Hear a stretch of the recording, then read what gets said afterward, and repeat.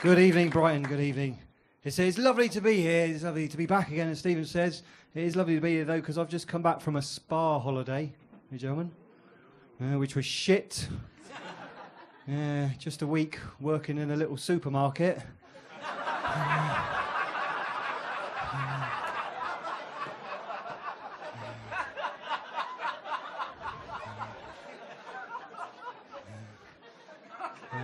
So it's, it's nice to be here, though. I was outside the venue just before the show. I saw a, a woman holding the hand of a small child.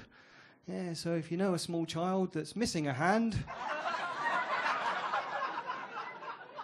I think I know who's got it. So, uh, yeah, it's good. I was, I was feeling a bit low energy today. I knew I had to come and entertain you lovely people, so I went and had. Uh, I'm a little bit new agey. I went and had a coffee enema today. We're in the right place. Any, anyone here ever had a coffee enema? No, you don't want to admit to it. If you, if you don't know what a coffee enema is, by the way, it's like a normal enema, but you basically get a cup of coffee, a funnel, and some tubing, and you put the tubing up your backside there, up your bum hole. You pour the coffee down the funnel, goes down there, goes up the tube. The coffee goes up your backside, and the caffeine from the coffee is absorbed instantaneously into your bloodstream. And I'll be honest with you, sir, if you're feeling low energy, it is amazing. really does, really does wake you up does, however, get you thrown out of Starbucks.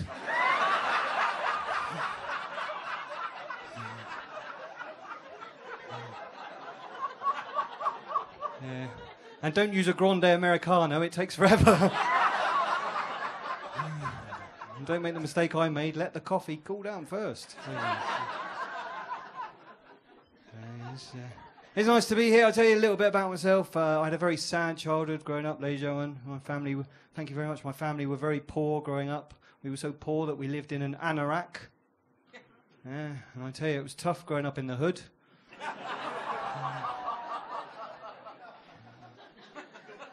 As a child, I was hit by a meteorite. As you can imagine, that had a huge impact on me. Mm, as a child, I was addicted to helter skelters. Yeah, my parents were worried that I was spiraling out of control. Mm. Mm. My mum and dad got divorced as well when I was little. That's sad, isn't it? My mum was having an affair with a demolitions expert. Yeah, bloody homewrecker.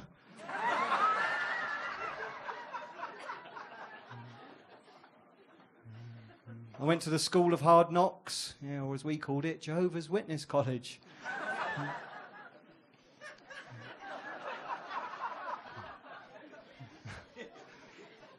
No, I did have an interesting childhood though. My dad, my dad was in the army growing up. I come from a military background. It's weird because my surname's Cowards, but my dad was in the army. Uh, my dad was a military engineer. Yeah, he specialised in clearing minefields. Yeah, always wanted me to follow in his footsteps.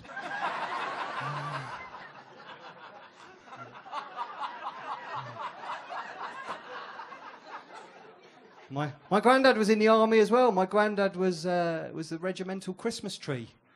Yeah. yeah, he didn't see any action, but he was highly decorated.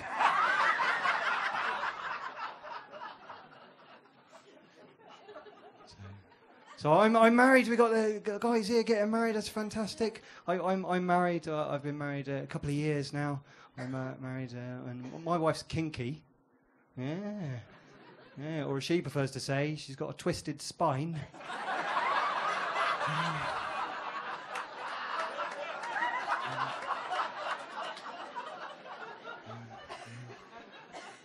it, was, it was love at first sight though when I saw my wife. It genuinely was. I saw I first saw her while she was working at a zoo. Yeah, there she was, covered in monkey shit. Straight away, I thought she's a keeper.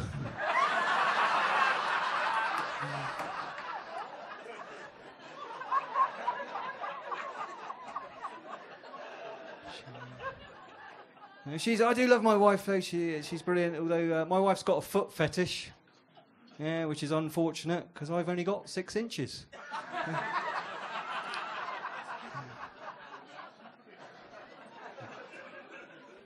so, so I've had, had, a weird day today.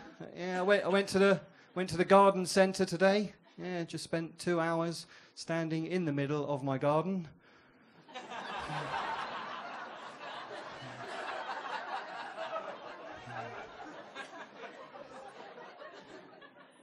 Went to see my granddad today as well. My granddad's a brilliant fella, right? He's one of these old people who's very wise, my granddad.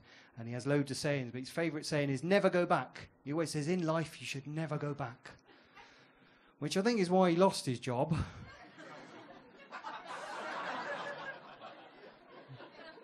yeah, as captain of the cross channel ferry. He's uh, still over there in Calais, bless him. So, on, later on, when I was asked to do a charity gig for the rehabilitation of sex offenders, yeah, I was touched.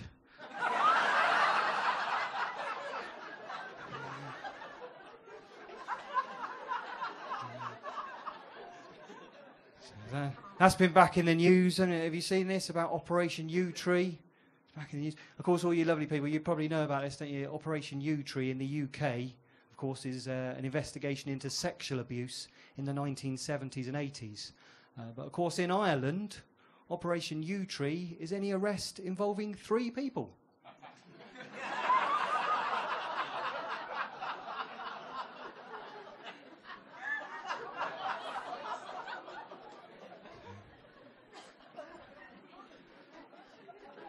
Some a Yewtree over there only just got that. So it's, it's a new year, and it? New year, new me. I've decided to get fit, ladies and gentlemen. I've started going to the gym. I, you probably don't notice because you don't know what I was like before, but I was, I was quite porker, and I've started going to the gym. Uh, I went to the gym today. Yeah, jumped on the cross trainer. Yeah, although to be fair, he wasn't cross before I jumped on him. uh,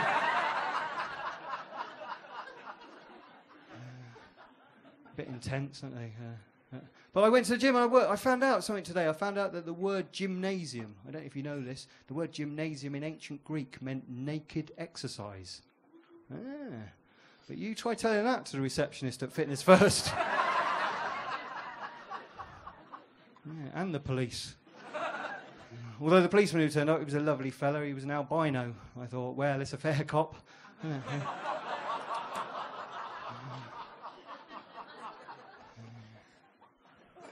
So I get confused very easily later. I was in London today. This confused me. See what you think, right?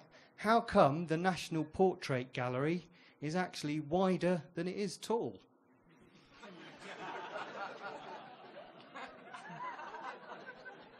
Saw one of those lists the other day as well 101 places to visit before you die. Yeah, didn't suggest a hospital.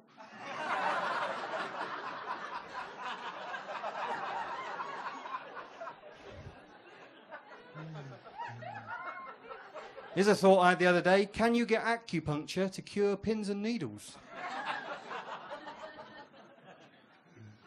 someone told me the other day as well, someone told me that 40 is the new 30. Yeah, but you try explaining that to a speed camera.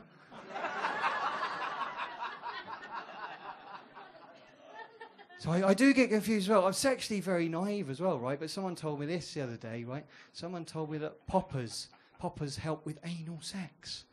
You all heard this? You must have been Brighton, haven't you? Poppers help with anal sex. Yeah, but when I tried them, I just ended up with an arse full of confetti.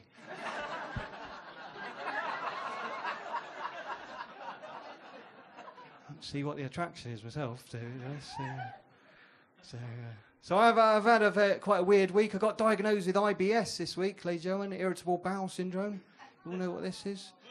Yeah, it's not very nice, is it? It means I don't get much warning when I have to go to the toilet. I had to go to the doctors about this, and the doctor was a lovely fellow. He said, Come on in, Tony. He said, First of all, I need to ask you a personal question. He said, What is your sexual orientation? And I thought about it for a moment and said, Well, to be honest, doctor, usually facing my computer monitor.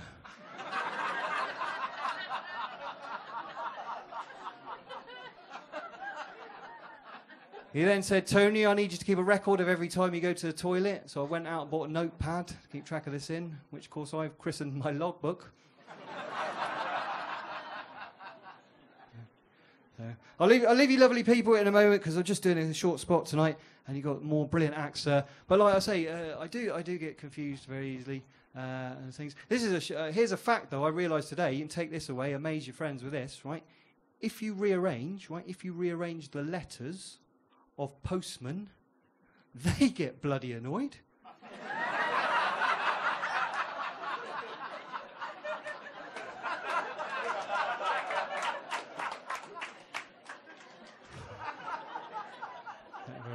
And I'll leave you because it's traditional, isn't it, to end when you end? You say it's traditional to end on a song. So very quick uh, burst of song, Lay Joan. When I was just a little boy, I asked my mother, what would I be? Would I be famous? Would I be rich? Is what she said to me. No. Lady Joan, you've been lovely. You've got a brilliant night ahead of you. I've been Tony Cowards. Say what? Thank you.